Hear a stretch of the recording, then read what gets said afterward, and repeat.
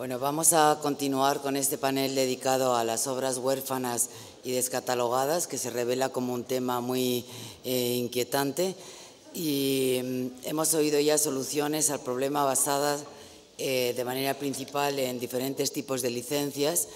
Y ahora vamos a ir unas intervenciones donde el acento está puesto en las soluciones basadas en límites legales.